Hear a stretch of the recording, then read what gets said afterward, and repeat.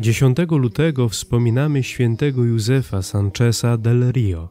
Józef urodził się 28 marca 1913 roku w Sałajo, w katolickiej, pobożnej, zamożnej rodzinie. Był zdrowym i silnym dzieckiem. Miał niespokojny charakter. Potrafił być niegrzeczny, psotliwy, a równocześnie miły i bardzo posłuszny. Bardzo kochał rodziców. Już jako małe dziecko uczestniczył we mszy świętej w każdą niedzielę. Był ministrantem. Naukę rozpoczął w miejscowej szkole. Z powodu zamieszek rodzina przeprowadziła się do Guadalajara. Tam kontynuował naukę. W wieku około 10 lat przyjął pierwszą komunię świętą. Wielką czcią i miłością darzył Matkę Bożą z Guadalupe. Usilnie zabiegał o przyjęcie do Cristeros. Ponieważ jego prośby były bezskuteczne, błagał o pośrednictwo mamę, tłumacząc jej, że już nigdy mu nie będzie tak łatwo dojść do nieba jak teraz. Gdy i to nie pomogło, zdesperowany napisał list do generała Prudencia Mendosy. Pisał w nim: Chciałbym umrzeć jako obrońca wiary z okrzykiem: Niech żyje Chrystus Król i Matka Boża z Guadalupe. Na stwierdzenie generała Mendozy, że jeszcze nie ma odpowiedniego wieku i sił, aby załadować karabin, rezolutnie odpowiedział, że pomoże żołnierzom czyścić broń, przygotowywać posiłki i pomoże dbać o konie. Widząc jego determinację, generał postanowił go przyjąć.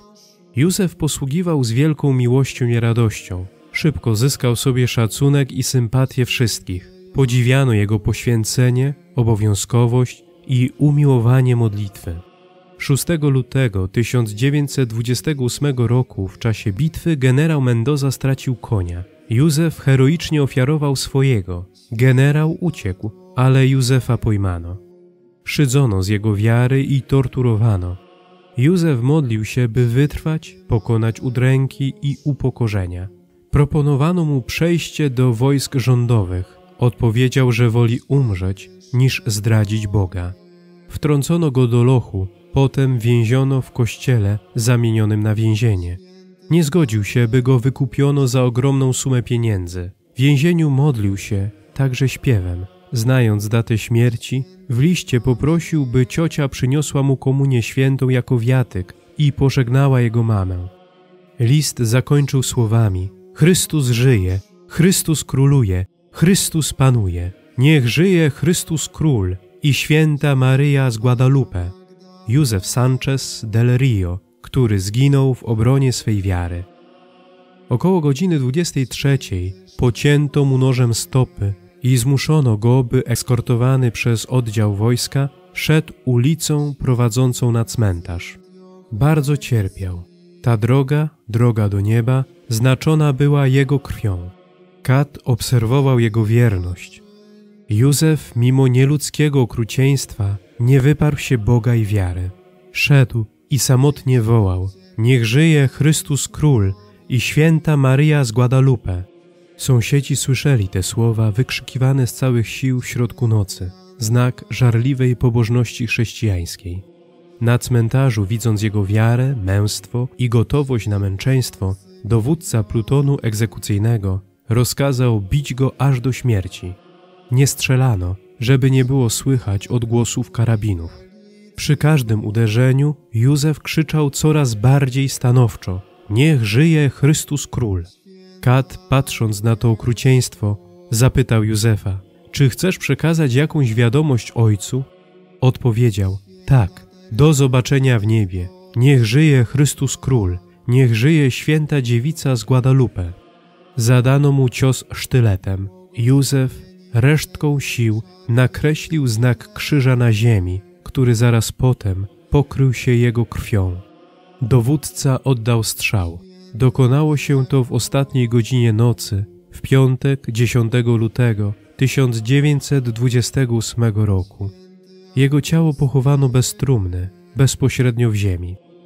W homilii w czasie mszy beatyfikacyjnej kardynał Józef Sarajewa Martins mówił m.in. o męczennikach meksykańskich, że przeszli z wielkiej przemocy, prześladowania, męczeństwa i mają szaty wybielone we krwi baranka, stoją przed tronem Boga, służąc Mu dzień i noc. wyznał, że Anaklet i jego dwunastu towarzyszy oddali życie, aby wiernie naśladować Chrystusa, Króla i Pana Wszechświata, głosić chwałę Matki Bożej z Guadalupe jako Matki Odkupiciela i naszej Matki. Nie bali się śmierci.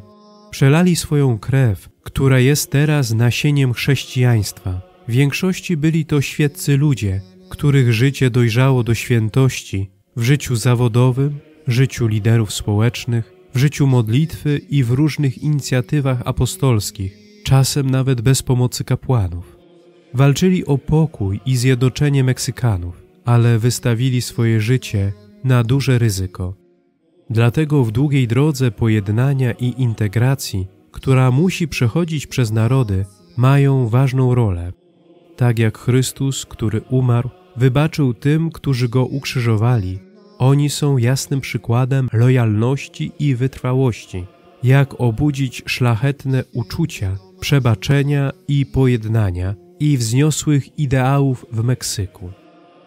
Beatyfikacja meksykańskich męczenników odbyła się w Guadalupe, w Meksyku, 20 listopada 2005 roku w uroczystość Chrystusa Króla Wszechświata. Jose Sanchez kanonizowany był 16 października 2016 roku przez papieża Franciszka. Ostatni okres życia Józefa udokumentowano w filmie reżysera Dina Wrightsa pod tytułem Christiada. Film wiernie przedstawia sytuację społeczno-polityczną tamtego okresu w Meksyku.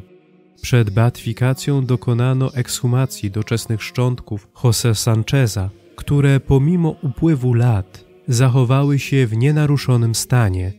Piętnastoletni bohater walk o wolność religijną w Meksyku był również patronem Światowych Dni Młodzieży w Panamie w 2019 roku. Módlmy się. Najlepszy Ojcze, Ty dałeś świętemu Józefowi Sanchezowi niezwykłą miłość do Twojego Syna, Jezusa Chrystusa i dziewicy Maryi z Guadalupe. Spraw, abyśmy wspierani wstawiennictwem tego świętego męczennika w najtrudniejszych momentach naszego życia ogłaszali Chrystusa naszym Królem, który z Tobą żyje i króluje w jedności Ducha Świętego, Bóg przez wszystkie wieki wieków. Amen.